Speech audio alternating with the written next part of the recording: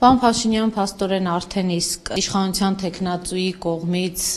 մենք տեսնում ենք հետևողական աշխատանքներ ձեր գործունեության նկատմամբ։ Նրանք հետևում են ձեզ նկարահանում, իհարկե մանկավարժները հրաժարվում են հետո հաստատել լուրերը, որ կա սպառնալիք, հաբեկում եւ այլն, այնուամենայնիվ ինչով եք բացատրում այս քայլը, իսկապես հրազդանում ինչ որ առումով խոճապ է ստեղծվել։ Այս վերջերս մի քննարկման ժամանակ չեմ հիշում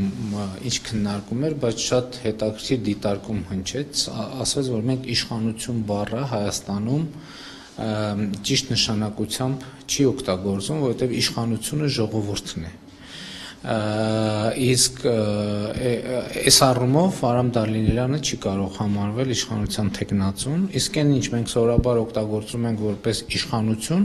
ավելի ճիշտ կլինի օգտագործել վարչակազմ եւ կառավարություն իմաստով։ Այնպես որ ես կարծում եմ, որ Արամ Դանելյանը իշխանության, այսինքն ժողովրդի տեխնացուն չէ եւ ժողովրդի տեխնացուն Սասուն Միքայելյանն է։ Ինչ վերաբերում է տեղի ունեցածին, գիտեք, ես այս փուլում որևէ գնահատական չեմ տալիս, ես դիմել եմ ազգային անվտանգության ծառայությանը, բերել եմ համապատասխան հոդվածներ, թող ազգային անվտանգության ծառայությունը քննի եւ parzի ինչ որ մարդիկ հոճապի ենթարկվել են, թե չեն ենթարկվել այդ գործողություններին տա համապատասխան իրավական գնահատական։ Պարոն Փաշինյան, մամուլը այս օրերին անդրադարձավ, որ Սասուն Միքայելյանը, այսպես ասած, ստացել է Հովիկ Աբ รา համյանի դաբրոն, հենց այդ բառերով Խաչատուր Սուքյասյանն է հանդիպել վարչապետին քննարկել փաստորեն Սասուն Միքայելյանին աջակցելու հարցը։ Ես մի քանի օր առաջ արդեն ազգային ժողովում ասել եմ, որ բոլոր նրանք, ովքեր քաղաքացիական պայմանագիր կուսակցության գործունեությունը կփորձեն դիտարկել այդ ձեր նշած բառապաշարի շրջանակներում նրանք կամ ճիշտ չեն ընկալում իրավիճակը կամ ճիշտ չեն գնահատում իրավիճակը Եվ այս փուլում ինչպես եք գնահատում Սասուն Միքայելյանի հաղթելու հնարավորությունները։ Ես կարող եմ ասել, որ Սասուն Միքայելյանը ապրիլի 17-ին հրազդանի քաղաքապետի ընտրություններում հաղթելու հիմնական եւ գլխավոր հավակնորդն է։ Մյուս կուսակցություններից ես կուզենայի իմանալ, արդյոք ձեզ աջակցելու առաջարկով հանդես եկել է նկատի ունեմ ժառանգություն հայ ազգային կոնգրեսի դիրքորոշումը արդեն པարզ է, ձեր կուսակցության անդամները պնդում են, որ այս քայլով հայ ազգային կոնգրեսը ըստ էության աջակցում է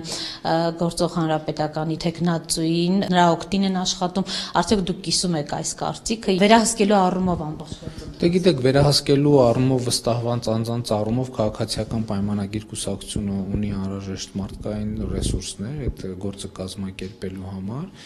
աջակցելու զորակցելու հրաապարական հայտարարությունները ինչ որ հնչել են դուք տեղյակ եք ինչ վերաբերում է հանձնաժողովի տեղերի հետ կապված հայտնի պատմությանը ես խոստացել եմ քանի դեռ այդ նշանակումները փաստացի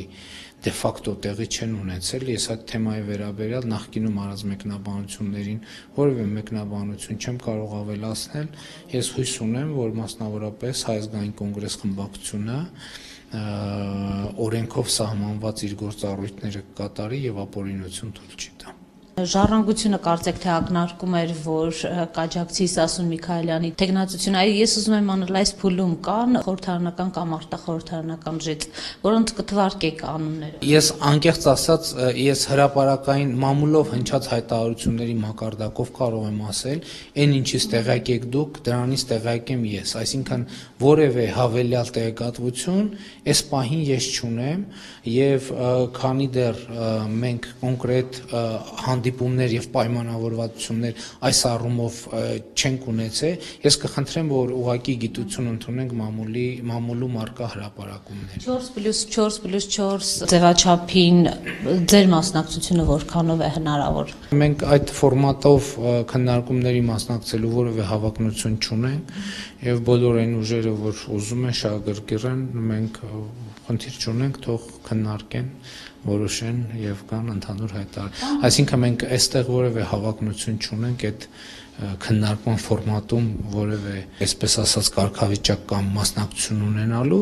մենք մեր դեսագետներ, դիրքորոշումներ ասելու բոլոր հնարավոր ռեսուրսներ եւ միջոցներ ունենք եւ այդ ռեսուրսներն ու միջոցները նպատակահարմարության կկիրառենք քննարկումների ընթացքում ընտրական օրենսգրքի համենայն դեպս տպավորություն էր, որ կառավարության աշխատակազմի ղեկավար նախարար Դավիթ Հարությունյանը այսպես պատրաստակամ է ընդդիմության առաջարկները լսելու, ոմանք նույնիսկ այս տեղում հաստատելու։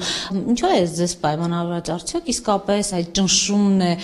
քաղաքական ուժերի ստիպում իշխանությանը որոշ քայլերում ընկրկել։ Գիտեք, ընտրական օրենսգրքի քննարկումների տրամաբանության մեջ մենք պետք է հստակ տարանջատենք երկու բան։ Կա զուտ տեքստի բովանդակային քննարկում եւ կա սրա շուրջ քաղաքական կոնֆիգուրացիաներ։ Այսինքն ես կարծում եմ, որ շատ կարևոր է մեկը մյուսից տարբերելը եւ կարծում եմ, որ այս փուլում, այս փուլում եւ ընդդիմության մեջ եւ իշխանության մեջ առայժմ ավելի շատ տեղ ունի քաղաքական process-ի կամ քաղաքական առաջիկա քննարկումների պլանավորումը եւ նախապատրաստումը նորմալ բան է, ես դա չեմ ասում որպես լավ կամ որպես վատ։ Ես կարող եմ ասել հետեւյալը, որ առայժմ այո, այն օրվա քննարկումների արդյունքում մի քանի կետեր, որոնք մեզ առավել մտահոգում էին, որտեղ մենք ընտրական օրենսգրքի մեջ բաժանել ենք 3 3 խմբի մտահոգությունները, մտահոգություններ, որոնք կարող են դառնալ անհաղթահարելի, մտահոգություններ, որոնք կարող են դառնալ դժվար, բայց այնուամենայնիվ հաղթահարելի, եւ մտահոգություններ, որոնք որոնք այնուամենայնիվ շատ շատ, այսպես ասած, մեծ խնդրեմ չեն։ Հիմա մեզ համար կար ազգային փոքրամասնությունների հետ կապված խնդիրը, որ մենք համ, համարում ենք, որ ինչ-ինչ իրավիճակում կարող էր դառնալ անհաղթարելի։ Հիմա այս փուլում արդեն հայտարարվել է, որ դա դուրս կգա, բայց սա դեռ ոչինչ չի նշանակում։ Այսինքն, այն ինչ որ գործնականում մենք կտեսնենք իրագործված, մենք ըստ այդմ էլ կարձագանքենք։